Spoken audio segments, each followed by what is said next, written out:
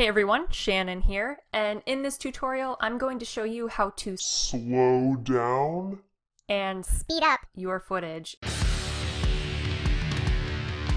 It is so easy, but it's not that intuitive. So if I went into my effects panel and I search for slow motion, I get nothing. Even if I searched for time lapse, I get nothing. All right, so how do I find this effect? Uh, it's really easy. So I've already imported two pieces of footage. One I'm going to use for my time lapse uh, example, and one I'm going to use for my slow motion example. And these were found on Pexels.com. Pexels has a ton of great stock footage. It doesn't look like stock footage that you're used to seeing. It's really high quality, really modern. Love it. That's what I'm using as my example here. Let's start off with this first clip here of my time-lapse footage. We're going to speed this up, make sure it's selected, it's highlighted in white. Right click, speed and duration. It's going to bring up this pane, allowing you to change the speed, the duration, and bonus, you could even reverse the speed so you can play your clips in reverse. What? Okay, pretty awesome. I'll show that as well. Uh, so now you can play with these settings as much as you like. If I sped up this time-lapse footage to, let's say, 500%, and you could see it totally shortened the time of the clip. If I hit play, and you will see it's a time lapse. Uh, looks pretty cool. Maybe it's not as fast as I want it, so really awesome. I could go back, change the percentage. Again, this is non-linear, non-destructive editing, so you're not ruining anything really, really awesome shortcut if I hit Control R, Command R on a Mac. It brings up the speed duration panel for me again. Just make sure the clip is selected. You don't have to right click. It saves a little bit of time, maybe like a microsecond, um, but it does help if you're doing this a lot. Maybe I'm going to change this up to a thousand. Let's play that.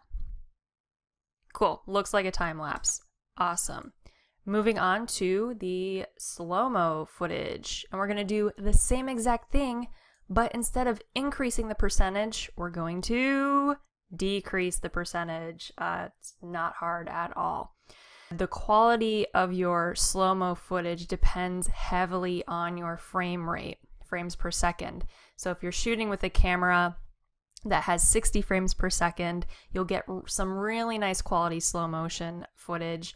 So GoPros are actually one of the best cameras that I've worked with for slow motion. So if you're into shooting anything actiony and you want to slow it down, speed it up, uh, GoPros are affordable and a good start. By the way, they did not sponsor this video. I'm just giving them a shout out because I really like their cameras. uh, maybe they'll sponsor me. I don't know.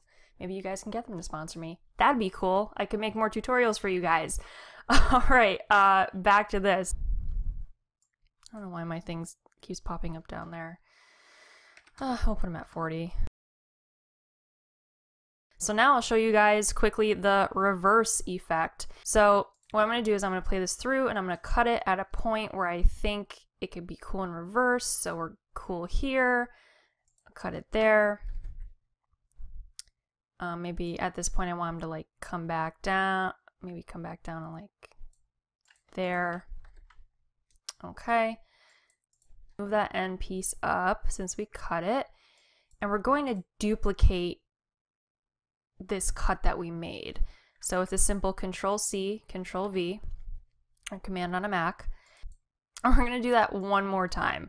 Uh, so we're duplicating twice because what's going to happen is we want him to jump, we want him to reverse on the second one, and we want him to jump back on the third one. On this middle piece, the second clip within these three, I'm going to put the reverse effect. Okay. And if I play it through, get a jump, we get that reverse. Awesome. If you like this video, be sure to like or comment. Let me know what other tutorials you'd like to see. And if you haven't yet, hit subscribe and you'll be notified when I release new tutorials. So, thanks for watching.